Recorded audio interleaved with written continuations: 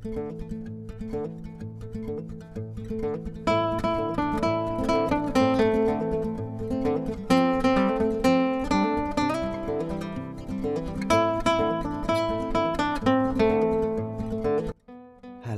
Assalamualaikum warahmatullahi wabarakatuh. Jumpa lagi ya sama saya si Tenisi Deso. Gimana kabar sobat semua? Baik-baik saja ya. Ya Alhamdulillah guys hari ini itu cerah banget ya Jadi mumpung cerah kita akan bahas HP servisan ya Jadi beberapa hari yang lalu di saat saya itu masih berada di rumah sakit ya Saya mendapatkan surat cinta datang ke konter kita akan bahas ya. Jadi sebetulnya ini isinya apa?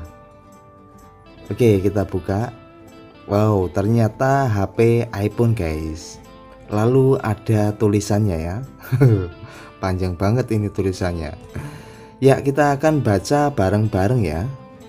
Are you ready? Halo Bang Tekso, saya Rangga dari Tanjung Karang. Subscriber sudah lama. Saya datang ke konter tapi tidak ketemu Bang Tekso. Bilang ibu masih di rumah sakit ya. Langsung saja tujuan saya ingin servis iPhone 6 punya saya. Tidak bisa disentuh, sudah saya bawa ke tempat servis, diganti LCD masih tetap. Saya mohon Bang Tekso bisa perbaiki HP saya. Nomor saya sudah ada di nota. Terima kasih. wow, berarti pada intinya iPhone ini tidak bisa disentuh ya. Nah, ini saya tidak tahu pasti ya ini kronologinya karena apa? Karena tidak disebutkan ya di surat cinta itu. Nah, ini saya coba memang betul guys, tidak bisa disentuh sama sekali. Nah, untuk kasus yang seperti ini khusus di iPhone itu juga saya beberapa kali dapat ya dengan kasus yang sama. Namun kasus yang sama itu belum tentu juga sama penanganannya ya. Biasanya juga berbeda cara mengatasinya. Jadi ya kita mesti tahu kronologinya. Nah kebetulan ini HP tidak tertera ya kronologinya karena apa jatuh ataupun karena apa ya. Namun yang jelas dikasih keterangan habis dibawa ke tempat servis lalu coba di cek dengan LCD baru dia masih tetap ya tidak mau disentuh biasanya seperti ini tuh efek dari jatuh ya itu pengalaman yang sering saya temui di lapangan wow bautnya di bagian bawah tidak ada ya oke kita akan copot ya bagian LCD dulu Sambil kita copot, kita lihat dulu ya spesifikasinya. Ini adalah Apple iPhone 6. Displaynya 4,7 in, kameranya 8 megapiksel. Lalu RAM-nya itu hanya 1 GB ya. Nah, untuk internalnya itu ada variasi 16, 32 dan yang lainnya. Oke, lalu HP ini tuh dirilis tahun 2014. Wow, hampir 8 tahunan ya, lumayan lama. Dan menggunakan chipset A8. Ya, jadi iPhone ini walaupun sudah lama tapi masih banyak ya peminatnya.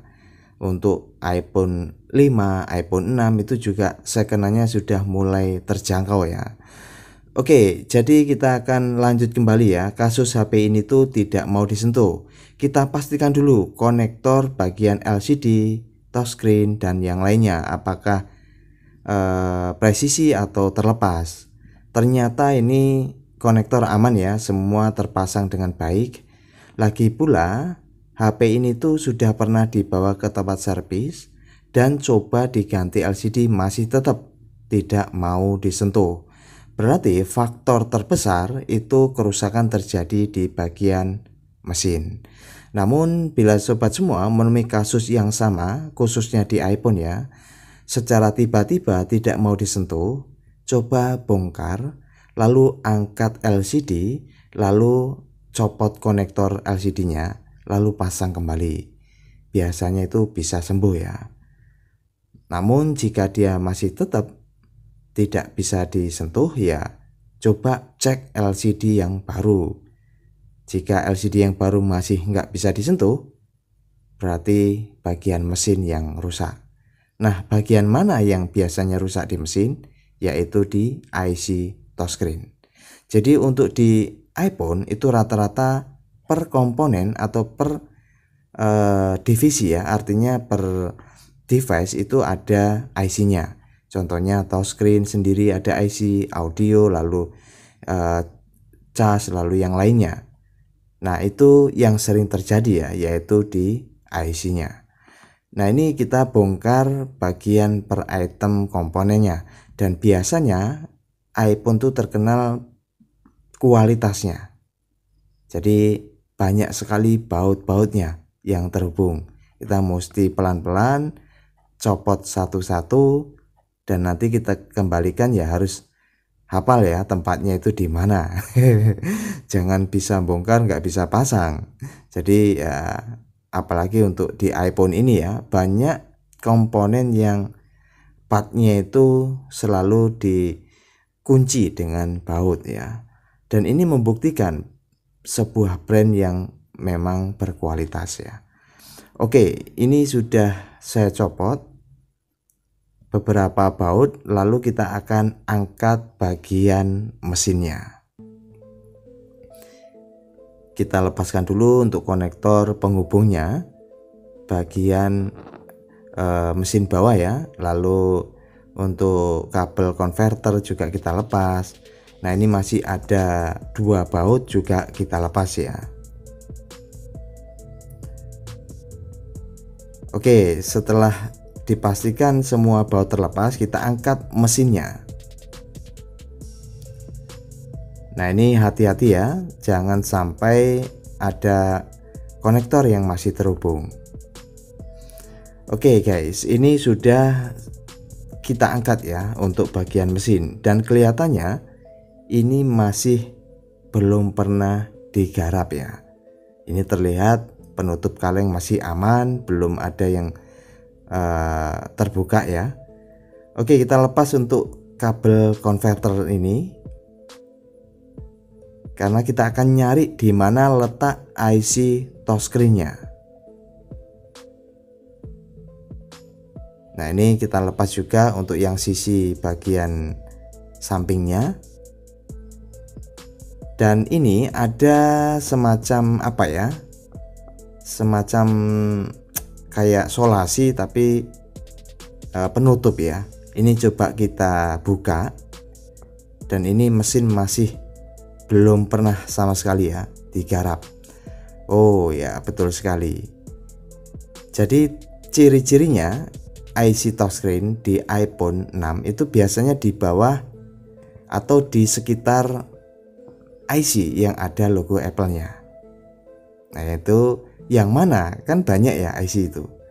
Ya kita akan coba bedah di sini ya.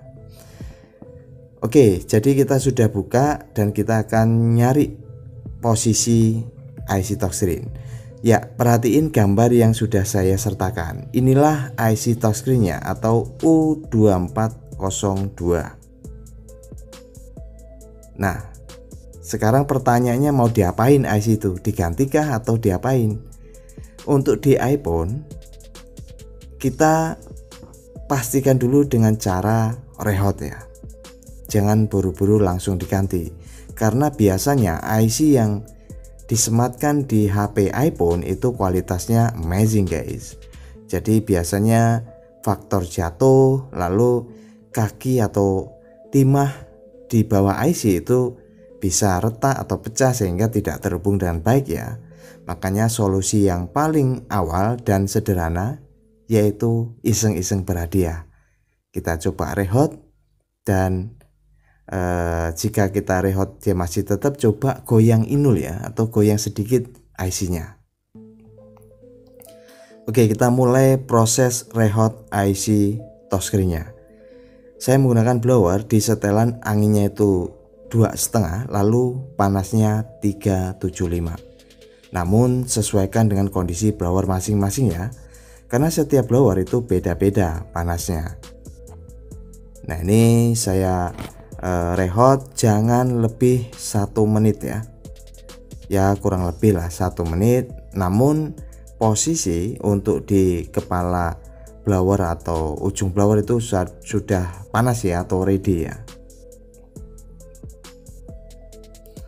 Oke, tembak terus sambil kita uh, apa fokus untuk di tiap sisi-sisinya ya, untuk di bagian IC touchscreen. Biasanya kasus seperti ini tuh sering berhasil ya. Karena di iPhone atau Apple ini komponen IC-nya itu lumayan kualitasnya bagus ya. Biasanya dengan cara merehot itu bisa menyembuhkan permasalahan. Oke, ini saya akan tutup kembali setelah kita pastikan dingin ya. Namun kok kayaknya sudah nggak lengket ya. Ya, karena itu kayaknya terbuat dari apa ya? Kayak benang-benang serabut gitu ya. Warna hitamnya kita tidak usah pasang pun tidak masalah ya. Oke, ini saya pasang kembali untuk kabel converter ya yang sudah kita copot tadi. Lalu kita akan rakit ulang guys. Nah ini rakit ulang kita mesti tahu ya bagian atau part yang sudah kita copot tadi kembalikan ke asalnya ya. Iya. jangan sampai lupa. Apalagi kalau untuk di iPhone ini kan banyak sekali part yang kecil-kecil ya pastikan baut-baut semua aman ya. Sendirikan karena untuk beberapa baut di HP iPhone itu sangat kecil ya. Jadi kita mesti uh, mesti hati-hati jangan sampai jatuh ke lantai nyarinya. Setengah mati guys. Susah nggak ketemu-ketemu. Ya ini kita uh, pasang kembali untuk bagian mesin kabel konverter yang udah dicopot lalu konektor mesin uh, ba mesin bagian bawah atau buzzer kita pasang lalu ini untuk bagian kamera depan ya. Jadi untuk kameranya pun untuk bagian pengunci atau pengait itu ada sejenis lempengan aluminium ya lalu kita blower eh, apa kita uh, baut ya jadi memang struktur komponen yang ada di HP iPhone itu sangat berbeda dengan di HP Android. Nah, untuk iPhone sendiri ya seperti ini rata-rata banyak sekali part kecil yang mesti kita lepas saat nyopot mesinnya. Oke guys, ini sudah uh, saya pasang semua baut-bautnya. Kita tinggal coba tes ya. Saya akan pasangkan LCD nya dan mudah-mudahan ini berhasil ya. Dan mudah-mudahan ini pemilik juga nonton. Jadi saya baca surat cinta itu berasal dari Tanjung Karang. Tanjung Karang itu ibu kota Lampungnya ya jadi di Bandar Lampung. Oke ini saya nyalakan. Muncul logo apel kroa ya.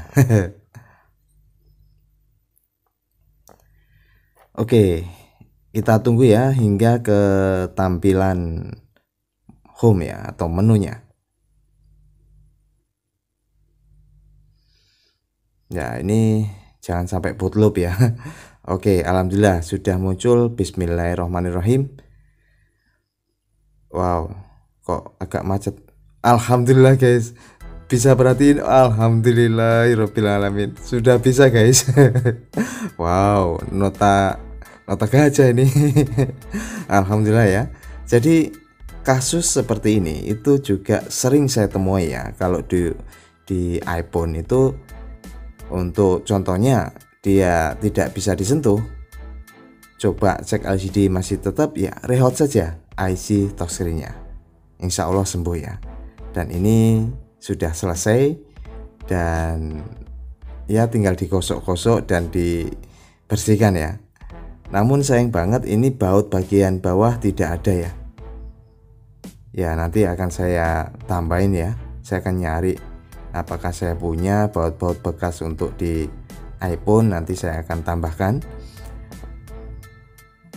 Oke ini kita pastikan dulu ya jangan-jangan hanya sekilas. Oh masih tetap dia masih bisa ya. Oke kita coba tes kameranya ya karena tadi kan nyopot kamera depan aman ya. Jadi kamera aman dan layar sentuh pun sudah normal kembali guys. Lalu saya coba cas. Untuk pengecasan juga aman.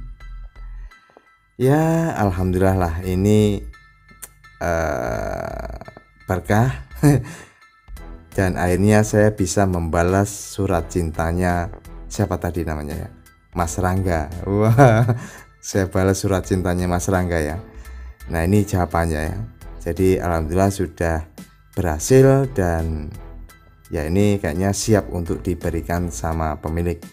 Dan jika pemilik nonton silahkan. Ini sudah bisa diambil ya. Dan mudah-mudahan bisa bermanfaat dan Alhamdulillah banget. Oke jadi ya ini memang uh, apa ya kasus yang sering dijumpai di iPhone biasanya kasus ini tuh disebabkan karena jatuh ya. Jadi jika sobat semua pengguna iPhone pastikan hati-hati ya lindungi ya HP sobat semua ya. Jangan sampai jatuh. Oke ini tentang ponsel ya. Kalau di eh, tadi tertera iPhone 6 dan alhamdulillah ini kita kembalikan lagi surat cintanya dan sudah kita balas bareng-bareng ya. Bye bye semoga bisa dijadikan manfaat dan tetap jaga kesehatan dan tetap semangat ya. Sampai jumpa assalamualaikum warahmatullahi wabarakatuh